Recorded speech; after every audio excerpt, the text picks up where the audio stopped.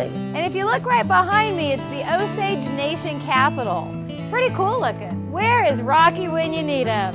Da da da, da da da. I'm gonna go to the copycat, um, I mean the Coffee Cat Cafe, have a little cup of coffee. This is the Osage Nation's capital, but this downtown looks like a movie set, straight out of Hollywood. It's a wonderful place for a leisurely stroll.